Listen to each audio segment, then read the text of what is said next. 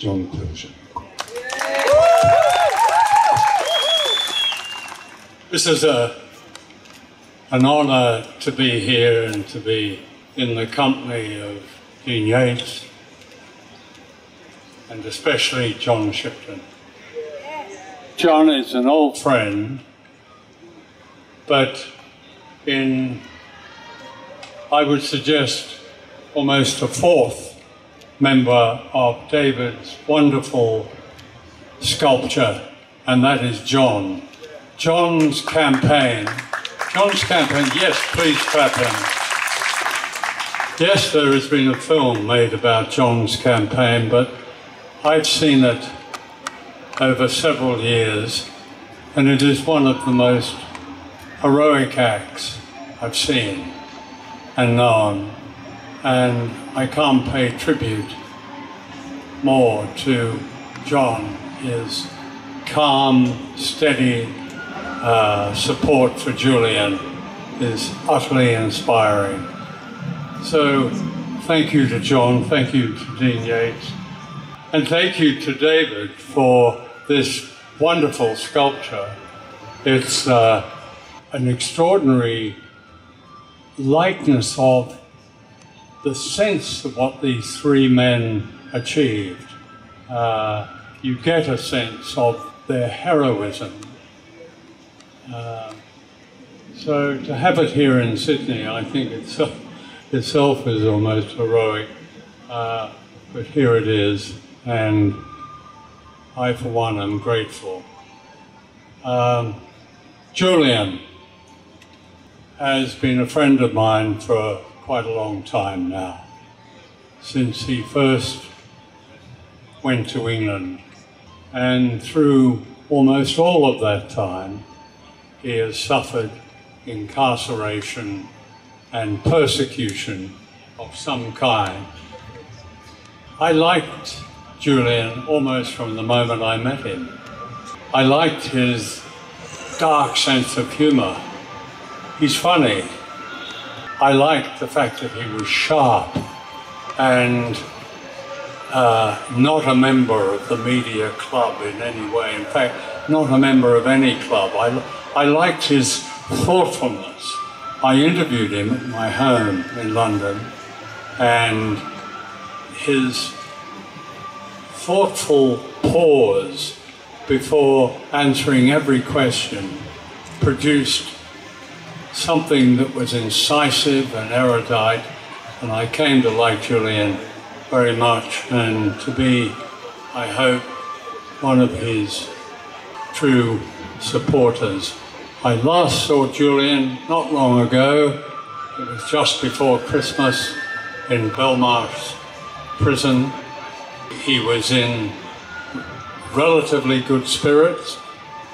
Uh, for two hours, we talked about almost everything, but not the the case. We we talked about books, and uh, as I'd sent him a collection of books, we talked about life. It almost seemed at one point, especially when he laughed, that that uh, uh, things might be all right. Some things might be all right. But of course, that's not the case. We know that in the arcane system that has imposed itself on Julian, he is still waiting for a judge uh, to uh, approve uh, an appeal to go forward.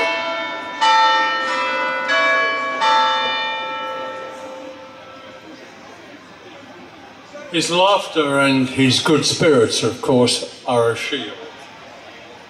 When the prison guards began, I notice this every time, began to jangle their keys, and it's their way, they like doing it, it's their way of telling you that time is up and that it's time to go. Uh, he fell, he fell silent. Uh, and normality, this grotesque normality of him in Belmarsh returned. And when I crossed the room to the other side and was leaving, he did as he always did. if you can imagine this. He put his fist in the air with a clenched fist and he shook it in defiance.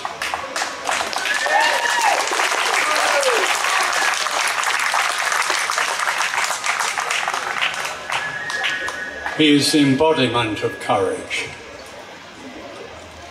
There are those, those who are the antithesis, the opposite of Julian, in whom courage is unheard of, along with principle and honour, stand between him and freedom. I'm not referring to the mafia regime in Washington, whose pursuit of a good man is meant as a warning to us all but rather to those who still claim to run a just democracy in this country, Australia.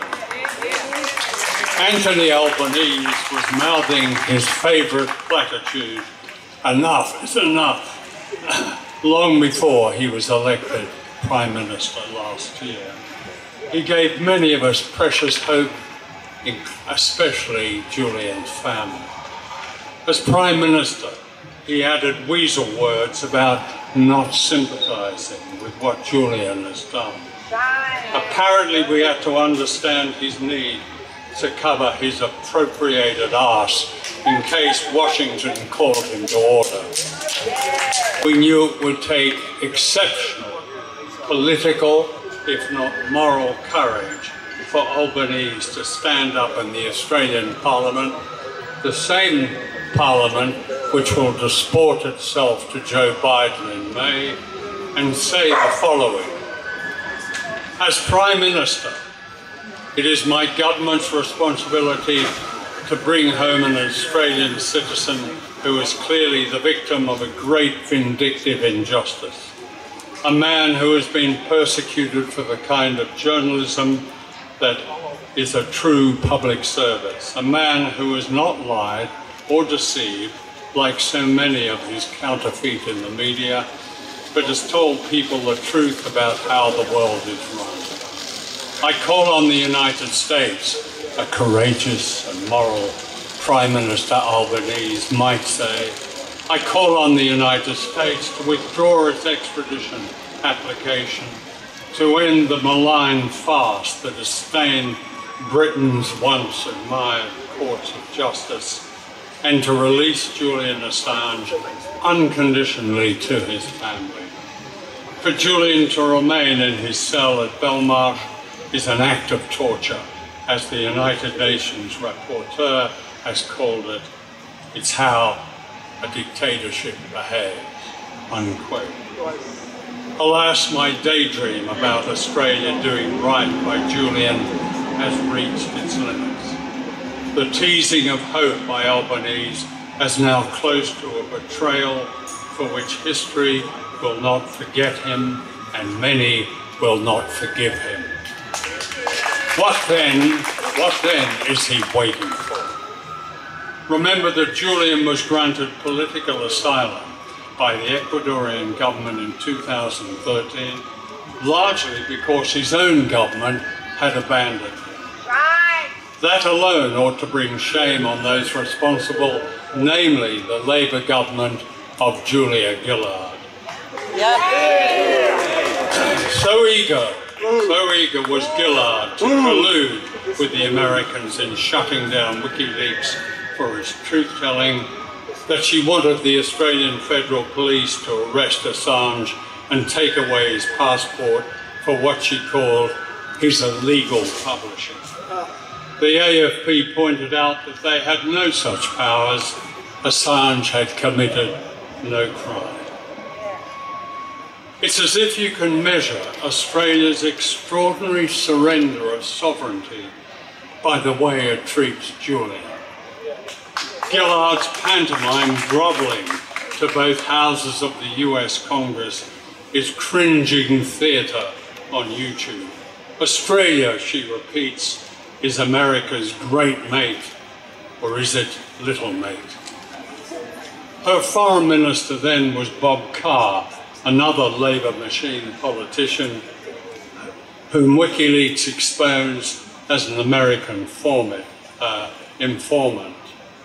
one of Washington's boys in Australia, Carr boasted knowing Henry Kissinger, his heroes, his hero.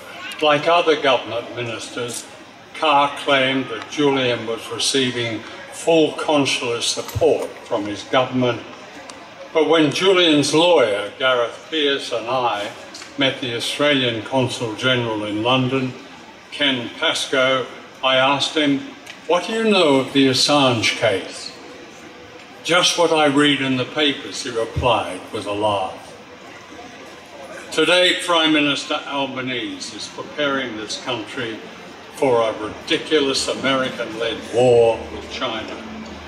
Billions of dollars are to be spent on a war machine of submarines, fighter jets, and missiles that can reach China. Salivating warmongering by the country's oldest newspaper, the Sydney Morning Herald, is a national embarrassment or ought to be. Australia is a country with no enemies and China is its biggest trading partner. Yep. This deranged civility to aggression is laid out in an extraordinary document called the US Australia Force Posture Agreement. This states that American troops have, and I quote, exclusive control over the access to and use of armaments and material that can be used in Australia in an aggressive war. That almost certainly includes nuclear weapons. China, as the yellow peril, fits Australia's long history of racism like a glove. However, there is another enemy they don't talk about. It's us, the public. It's our right to know and our right to say no. Since 2001, some 82 laws have been enacted to take away these rights and protect the Cold War paranoia of an increasingly secret state. They involve secret courts and secret evidence and secret miscarriages of justice. In this, Australia is said to be a model for the master across the Pacific. Bernard Collaery, David McBride, and Julian Assange, deeply moral men who told the truth, they are the whistleblowers and the victims of this paranoia and our national heroes. On Julian Assange, the Prime Minister has two faces. One face teases us with hope of his intervention that will lead to Julian's freedom the other face ingratiates itself with Joe Biden and allows the Americans to do what they want with us to lay down targets that could result in catastrophe for all of us. The question is this Will Albanese back Australia or will he back Washington? If he is sincere, as some supporters of the Labour Party still think he is, what is he waiting for? If he doesn't secure Julian's release, Australia will cease to be sovereign. We will be little Americans, official. This is not about the survival of a free press, as it's often said. There is no longer a free press.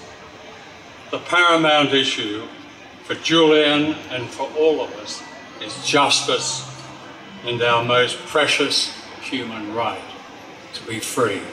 Thank you.